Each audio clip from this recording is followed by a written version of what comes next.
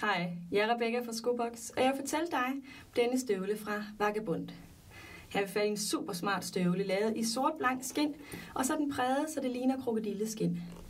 Støvlen her har lidt western look, den har den spidse snude her. Den er kort, den har en bred blokhæl her, nem at gå på.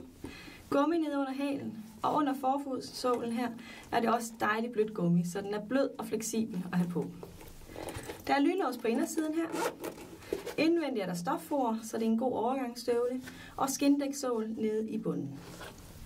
Har lyst til at vide mere om støvlen, så spørg mig eller kig forbi.